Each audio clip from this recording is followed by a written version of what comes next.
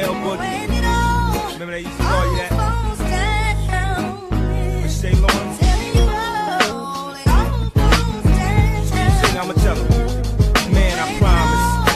So self-conscious. She has no idea what she doing in college. And major that she majored in don't make no money, but she won't drop out of pants and look at her funny. Nah, tell me that ain't insecure. The concept of school seems so secure. Sophomore three years ain't picked a career. She like fuck it, I just stay down her and do ends. That's enough money to buy her a few pairs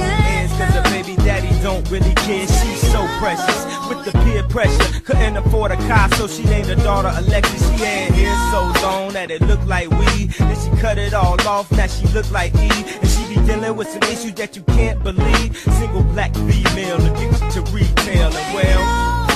Oh, oh, and when it falls down, who you gonna call now?